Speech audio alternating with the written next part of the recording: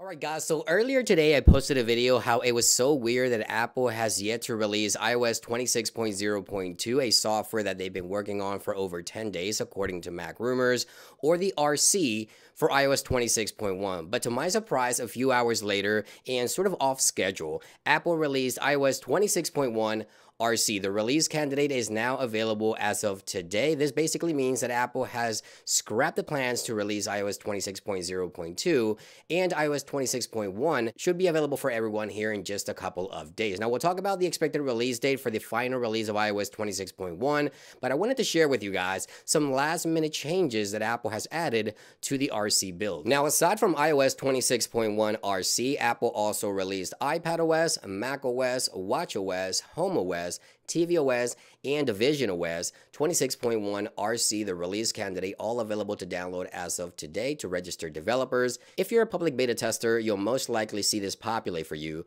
within the next 24 hours or so. Now, the download here was a little over 8 gigs from beta 4 to iOS 26.1 RC. Now, let's head on over into settings. Let's go under the About section and iOS version. You see right there, that is the final build number for iOS 26.1, 23B, 82. Now, in the past, Apple has released a second RC. I'm not sure if that's going to be the case this time around, but obviously, I'll keep you guys posted. Now, I wanted to answer a few questions. I know some of you guys are asking, did Apple remove the slide to stop for the timer on the lock screen? And no, that did not happen. Apple did not remove the slide to stop. You see right there, we have the slide to stop option on the lock screen. For whatever reason, some users think this has happened. On the RC, at least for me, we still have that slide to stop for the timer. However, Apple did confirm on their release notes, there's two issues that were fixed here last minute before the official release of iOS 26.1. Number one, Apple mentions devices might fall asleep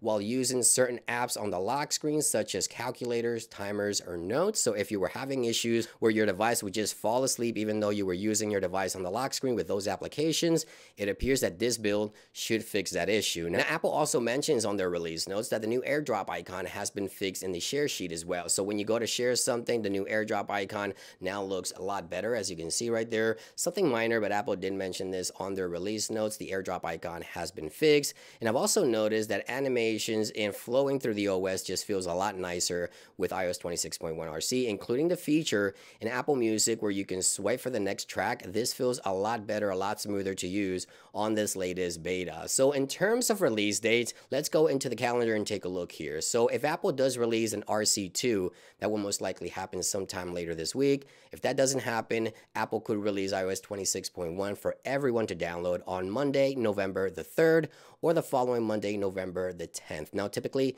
the softwares do get released on a Monday, so I'll keep you guys posted. Make sure to stay tuned and subscribe for more videos. If an RC2 or more changes are discovered before the official release, I'll make sure to follow up with you guys as well as talk about the battery and performance before the final release. So thank you for watching. I hope you guys enjoyed this video and I'll see you guys on the next one.